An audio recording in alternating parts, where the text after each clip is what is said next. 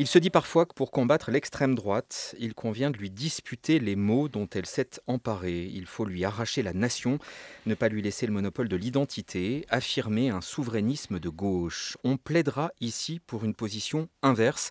Le nationalisme de l'extrême droite ne se dispute pas, il se combat. La fixation sur l'identité ne s'apprivoise pas, elle se déconstruit. Toute autre posture revient à mettre le doigt dans un engrenage destructeur. Cette citation de l'historien communiste Roger Martelly est issue d'un ouvrage très étayé qui s'appelle La Grande Confusion, ouvrage signé par le professeur de sciences politiques Philippe Corcuff et qui décrit comment, selon lui, l'extrême droite gagne la bataille des idées. Comment expliquer cela? Quel mécanisme à l'œuvre? Quelle personnalité et mouvement les porte 01 45 24 7000 et l'appli France Inter pour vos questions et témoignages. Bonjour Philippe Corcuff. Bonjour. Un mot pour vous présenter d'abord, vous le faites en détail dans ce livre, engagé au Parti socialiste dans votre jeunesse, puis à l'extrême gauche, aujourd'hui à la Fédération anarchiste, ancien chroniqueur de Charlie Hebdo, vous enseignez à l'Institut politique de Lyon. Ce livre de près de 700 pages, vous avez mis plus de trois ans à l'écrire. Est-ce qu'il y a eu un moment de déclic, un moment de cristallisation où vous vous êtes dit l'extrême droite est en train de gagner? Euh, j'ai commencé à m'intéresser à, l'extrême droite idéologique euh, en 2012 ce qui a donné un premier livre qui était plus un pamphlet, euh, Les années 30 reviennent et la gauche est dans le brouillard en 2014.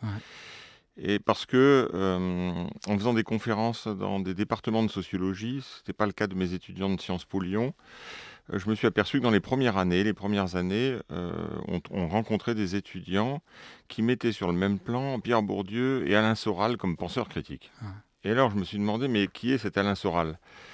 Et je me suis commencé à lire Alain Soral, à écouter Alain Soral sur Internet, voir que certaines de ses vidéos faisaient plus d'un million de vues. Euh, et qu'on avait clairement un discours, disons, euh, antisémite, sexiste, homophobe, nationaliste. Puis je me suis intéressé à Rick Zemmour et je me suis rendu compte qu'il il disait à peu près 80% des mêmes choses, mais que la xénophobie de Soral était antisémite, la xénophobie de Zemmour était euh, islamophobe et négrophobe. Et il y en a un qui porte l'extrême droite peut-être en sous-main et l'autre dans les médias officiels? Oui, parce que euh, beaucoup de gens n'ont pas entendu parler de Soral, mais des, des, vidéos à un million de vues, c'est beaucoup. Euh, et on a tendance à se focaliser que ce qui est dans les médias officiels, et particulièrement aujourd'hui avec la place de Zemmour euh, sur CNews. Euh, mais il n'est pas sûr que Zemmour ait plus d'influence que Soral au mhm. bout du compte. Question d'Ad au standard. Vous nous appelez de Rennes. Bonjour Anne. Oui, bonjour. là, je viens juste d'écouter là le début. Et je réagis en disant juste effectivement euh, là moi j'ai pas du tout la sensation.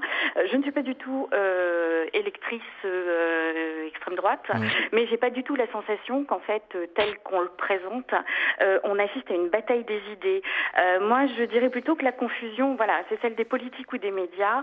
La preuve en est là depuis les derniers sondages des futures élections présidentielles l'Élysée et le gouvernement activement relayés voire soutenus par les médias diabolise et culpabilise à dessein les électeurs potentiels qui les mettraient en difficulté. Et donc on diabolise, on culpabilise, mais jamais en fait on cherche à comprendre les motivations de ces électeurs, ni à prendre les mesures hein, qui pourraient faire évoluer leurs attirances, ou leur attirance justement vers euh, ces partis-là. Et euh, il y a aujourd'hui en France des groupes sociaux très variés, euh, de tous bords, euh, de toute appartenance sociale, culturelle, euh, qui ne se reconnaissent dans aucun des partis institutionnalisés et qui votent ou voteraient, hop, je, vais, j'allais dire FN, mais RN, RN juste pour donner au pays l'électrochoc qui pourrait enfin faire éclore le monde d'après. Alors, cette nouvelle voie que tous ne cessent de nous vendre, mais qu'on ne voit Jamais. Alors, je il y a pense beaucoup... en fait, pardon, juste. En un mot, s'il vous plaît. que je pense qu'une prise en compte des votes blancs euh, enfin, c'est donc euh, c'est une alternative, serait un bon révélateur justement du fait que les gens ne votent pas Marine Le Pen pour Marine Le Pen ou pour les idées qu'elle défend, mais juste pour dire que en fait on peut plus continuer comme on continue merci, euh, avec les politiques que l'on a. Merci, merci. Alors il y a beaucoup de choses dans ce témoignage. D'abord l'allusion, notamment à la une de Libération et au numéro de Libération une quinzaine de jours où il y avait des électeurs de gauche qui avaient voté euh, amenés à faire le choix entre Le Pen et Macron euh, en 2017 avaient voté Macron et qui disent on ne recommencera pas. Est-ce que là, on est dans le confusionnisme dont vous parlez dans votre livre, Philippe Corcuff Oui, parce que moi, je, je ne fais pas une, analyse de sociologie politique des électorats et je pense que c'est intéressant de voir pourquoi les diversités de raisons. Moi, 90% des locuteurs que j'analyse sont des journalistes, des intellectuels, des politiciens. Donc c'est l'élite. Mais la particularité de cette élite, c'est qu'elle dit qu'elle parle au nom du peuple, le peuple qui aurait été méprisé par les élites. Donc c'est un discours assez paradoxal. Et souvent, ces élites qui parlent au nom du peuple ont une vision très méprisante du peuple implicitement, parce que finalement, on dit le peuple, il est nationaliste, il est xénophobe, il est sexiste, il est homophobe. Donc en fait, ce sont des élites qui parlent au nom du peuple et qui méprisent le peuple. Hmm. Et, ça ne rend pas compte de la diversité des classes populaires. Hein, euh, bon. Donc sur la question de, de l'élection, une des dimensions du confusionnisme, c'est que le développement d'un espace où il y a de plus en plus d'interférences entre des thèmes d'extrême droite, de droite, de gauche modérée et de gauche radicale, c'est ça comme ça que je définis le confusionnisme, mmh. euh, un des terrains, c'est l'affaiblissement de la frontière symbolique avec l'extrême droite, qui commence particulièrement, euh, sans doute avec la rénovation sous l'égide de Marine Le Pen et de Florian Philippot du Front National, mais qui a un saut qualitatif au moment de l'élection présidentielle de 2017, où il commence à y avoir de plus en plus de discours, notamment à gauche, qui s'y maîtrisent. Emmanuel Macron et le Front National. Bon. Et ça s'est accéléré depuis 2017. Et donc il y a une forme d'affaissement parmi des élites intellectuelles euh, de cette frontière, alors qu'il y avait, disons, vent debout, euh, une certaine convergence, de, énormément de locuteurs, d'acteurs euh, jusque contre le Front National, au moins jusqu'aux grandes manifestations contre la profanation du cimetière de Carpentras. Mmh. Euh, il y a eu ce qui s'est passé en, 2002 avec euh, la présence de Jean-Marie Le Pen au deuxième tour, et par contre, ça s'est affaissé. Ça participe, cet affaissement, cette porosité par rapport à la frontière de l'extrême droite, ça participe euh, disons, du confusionnisme. La rénovation euh, du Front National devenu Rassemblement National, est-ce que c'est aussi une des causes du confusionnisme et, au fond, euh, voilà, plus de sortie de l'euro, faut rembourser la dette. C'est l'extrême droite qui gagne ou c'est l'extrême droite qui devient moins radicale? L'extrême droite est devenue moins radicale, c'est-à-dire que c'est pour ça que je préfère. Il y a beaucoup de discussions pour mm. savoir si on peut parler de fascisme, de populisme. Moi, j'utilise le mot post-fascisme. Il y a des continuités parce que par rapport à l'extrême droite des années 30, on a la dimension nationaliste, xénophobe, une certaine vision, disons, autoritaire de la politique, mais les extrêmes droites et les fascismes des années 30 sont anti-républicaines. Et la nouvelle extrême droite a intégré le lexique républicain, la laïcité, la souveraineté nationale. C'est la différence entre Marine Le Pen et son père, notamment. Voilà.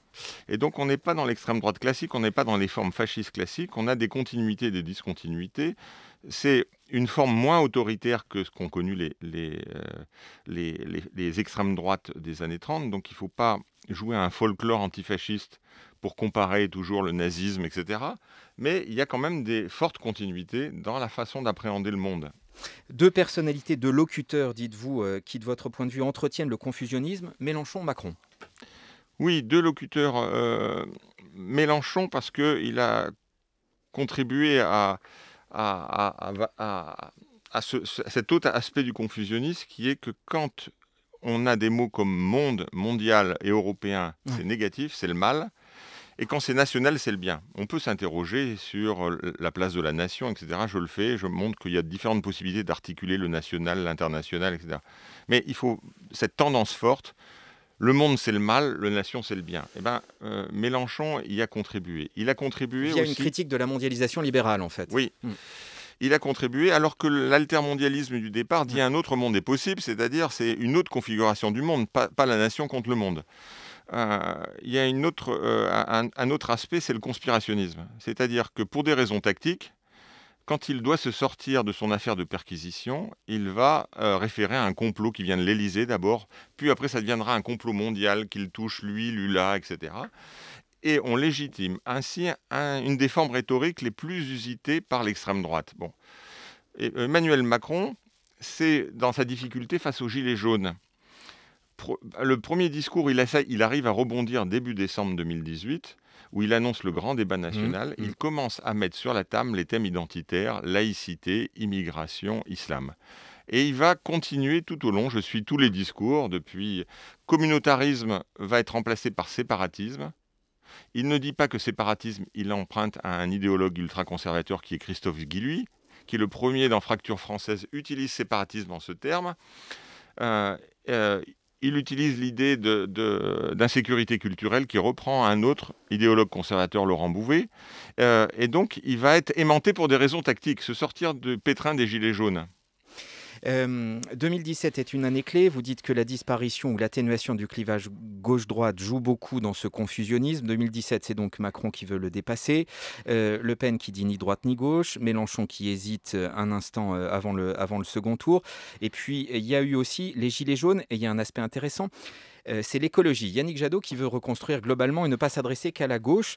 Euh, alors évidemment, la plupart des écologistes sont dans une logique post-68 ard, il n'y a pas de confusionnisme, mais euh, il y a une partie du courant écologiste qui manipule, disons comme cela, des, thèses ultra-conservatrices. Oui, ça existe aussi. Le, rédacteur en chef de la revue La Décroissance, hein, qui est un élément important dans la galaxie écologique, a quelques années sorti un livre pour défendre les thèses de la manif pour tous et donc contre le mariage homosexuel, contre euh, une certaine émancipation des femmes. Au fond, la nature, rien que la nature, ce serait ça la thèse. la nature, la nature vient là pour naturaliser, disons, des formes de domination masculine ou des formes, des, normes dominantes qui visent les homosexuels. Et donc ça se trouve dans, et on est au cœur, hein, le, mensuel de La décroissance, on est au cœur de, la pensée écologiste. Euh, et puis le, discours de Yannick Jadot qui est clair sur certains aspects, le fait de déconstruire le clivage gauche-droite, en fait, contribue à défaire et à donner beaucoup plus d'espace à cette espèce de bricolage informe qui prend de plus en plus d'espace. Euh, quelques réactions, Sabine, euh, sur euh, l'appli. Je constate dans mon entourage, les discours RN sont de plus en plus repris sans que ça pose de problème. Il est difficile de s'y opposer, dit-il. Faut-il débattre ou boycotter l'extrême droite pour la combattre? Dominique, la droite fait recette parce que la gauche n'a pas d'idées nouvelles. ça, c'est intéressant parce qu'au fond, vous dites qu'effectivement, cette disparition du clivage droite-gauche, cette atténuation de la frontière avec l'extrême droite, aboutit ou peut aboutir à la disparition de la gauche. Et il y a une idée que vous défendez et qui n'existe plus à gauche aujourd'hui, c'est celle d'émancipation. Je précise tout de suite, Phil Corcuve, qu'on arrive déjà au terme de cet entretien. Mais je voudrais qu'on dise un mot de cette émancipation à quoi vous, vous consacrerez un prochain livre? Oui, au XVIIIe siècle est née cette idée notamment qu'on on doit sortir des tutelles, des dominations, euh, des inégalités, et c'est par l'autonomie individuelle et collective, et que c'était une des grandes idées de la gauche. Et ça suppose de sortir des enfermements identitaires. Or, les discours confusionnistes nous, nous enferment dans des identités exclusives, concurrentes. Mmh alors que l'émancipation doit nous ouvrir à ce qui est autre. Euh, euh, c'est pour ça qu'un des penseurs centraux pour moi, c'est Emmanuel Lévinas.